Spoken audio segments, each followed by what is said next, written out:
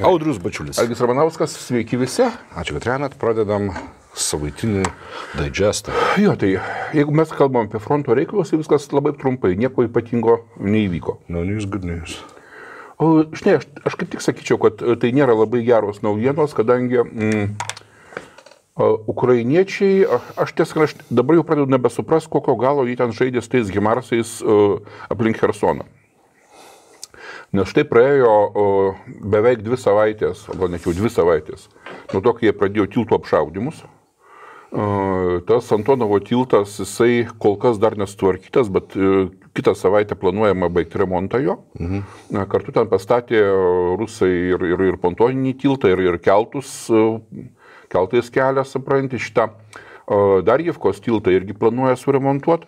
Ta prasme, mm, žinai, ar jie tiesiog tokiu būdu pasportavo, o tai buvo maždaug pataikysim ar ne, mhm. bet yra labai keista, bet taip pasportavimui užtenka porą raketų paleisti, nereikia ten tiek daužyti.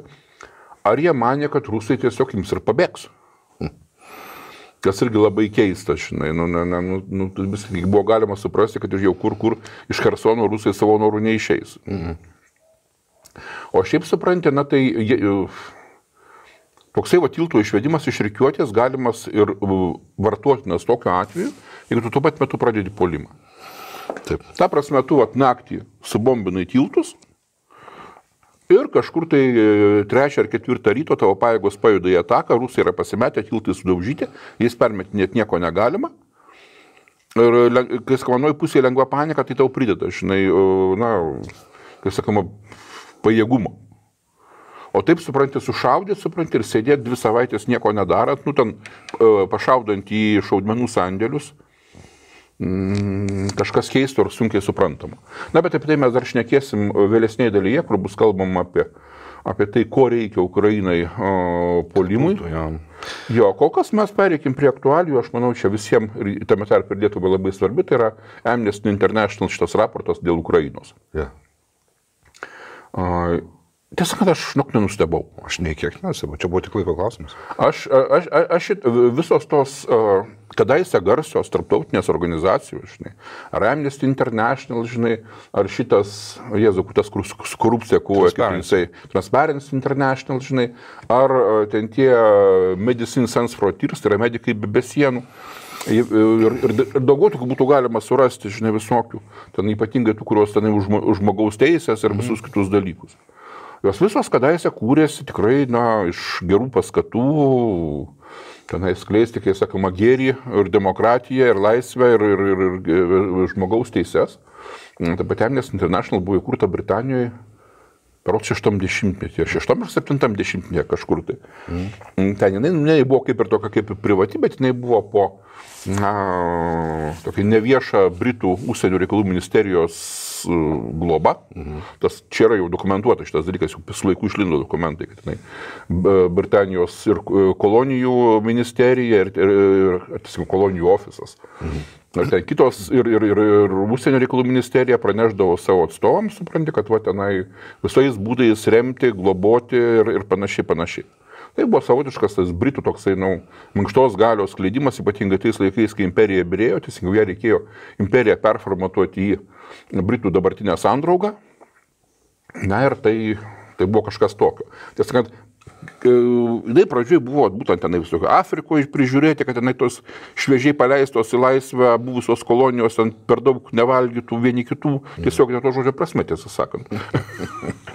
Nes kuo buvo, to buvo.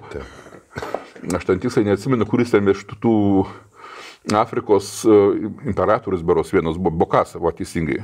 Bokasa tai natūraliai valgė savo oponentus. Kulė, ne? nu, tai žinai, tai to tokio aišku, reikia bent, bent į rėmus pastatyti. Sakykite, kad negražu. Jo. E, aišku, e, mes ir apskritai buvusi po sovietinė erdvė, Amnesty International, sužinojom po Helsinkio susitarimų, tai yra kada 75 metais, jeigu neklystų, Helsinkėje buvo pasirašytas šitas vadinamasis baigiamasis aktas, dėl visų, dėl sienų neliečiamumo, meilės, draugystės tarp komunistų ir kapitalistų. Ir svarbiausia, jame buvo įrašyta, kad na, žmogaus teisės, tenai žodžio laisvė, panašus dalykai, susiformavo vadinosios Helsinkio grupės, Sovietų sąjungoje atsirado, atsirado disidentai, kuriuos, aišku, sovietai Daužydantis įsodino į psichuškį. Ne, da- da- dantų, dantų jau nebedaužė, bet jis psichušką sodindavo, supranti, arba ten keldavo bylas ir štai iš to žmonės, Amnesty International. Daužė ir dantis, tik ne taip stipriai kaip stalinizmas. Nu, sakykim taip, dantis daužydavo visokiai smulkmiai. Tiem jau rimtiem garsiem, tai tai, tai ne. Ja. Ten, kaip sakoma, ten nebuvo lygybės šio požiūriu. Uh, jie buvo paskelbti sąžinės e, kaliniais, na iš tikrųjų Amnesty International tuo ir pasižymėjo, jie, jie uh, tiesiog skelbė, kad štai tas žmogus sėdi kalėjime ne dėl kokių nors kriminalinių veikų, bet dėl savo politinių įsitikinimų. Ar tai buvo sąžinės kaliniai vadinami? Aš tarp kitko šiom dienom specialiai dar pasitikrinau, ką reiškia amnesty angliškai. Mhm. Tai reikšmės yra dvi. Viena yra sąžinės kalinys, Jo. o kitas yra amnestija, kaip mes suprantame. Nu, taip, taip, nu. Kai nu, nusikaltėliui sakoma pašalvon. Ne, Tai, tai jie, jie sujungia tą dalyką į vieną maždaug, kad vat, uh, tuos žmonės, kuriuos, uh, kurie sėdi kalėjime a, dėl savo įsitikinimų, kad reikia arba paleisti laisvę, arba, arba jeigu ta valstybė nenori turėti, nu, leiskit jiem emigruoti, žinai, ten į vakarus. Ir tas dalykas, aišku, jisai buvo tikrai geras ir tikrai daug a, sovietinių disidentų išvengė liūdnos lemties, mhm. dėka Amnesty International, kadangi tai, na, jie, jie naudodavosi atitinkamai jau ir Amerikos a, politiniai pareigūnai, kada ten būdavo susitikimai, žinai, na, tenai Niksono su Brežnevu, ar, tenai, ar, ar, ar, ar su Karteriu ir visų kitų, jie vis primindavo, kad štai jūs turite sąžinės kalinių ir būtų labai gerai juos paleisti. Na ir tenai sovietai mm, kartais grieždami dantimis, kartais prašydami už tai kažkokiu tai savo, kaip taisyklė, finansinių lengvatų, paleisdavo. Mhm. Na, prasme, Amnesty International buvo pakankamai gera organizacija 20-ojo amžiaus 8-9 dešimtmečiais. Mhm. Bet kaip su visom tokiam organizacijom nutinka, na, tų o, diktatoriškų arba nelaisvų režimų kiekis mažėjo pasaulyje, o tie, kurie buvo visai diktatoriški, jiems buvo greitai nusispjauti ant Amnesty International, kaip, pavyzdžiui, kokia Šiaurės Koreja, ten veikti nebuvo nei, nei šansų, nei prasmės, nes buvo aišku, kad tenai nu, nieko nebus.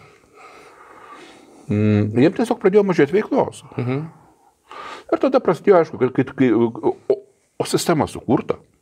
Aš va čia paskaičiau truputėlį apie juos, tai, kažka, tai yra minima, kad jų yra per, per, per pasaulį apie 10 milijonų žmonių, kurie vienai per kitaip susijęs tą organizaciją. Aišku, ne visi yra atlyginimo, Aha. bet ta prasme, bet yra grandiozinė organizacija.